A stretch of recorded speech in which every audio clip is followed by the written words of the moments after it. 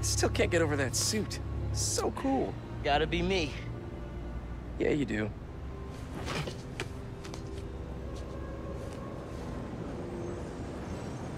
Pete, does this job ever get easier? Some of it, yeah. Some things never get easier, though. Roxxon did this uptown because they saw us as disposable. Me, Rick, Phin, all of Harlem. I think part of our job is making sure they can't get away with it.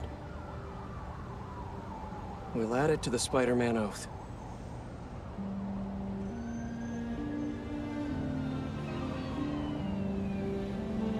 Go time?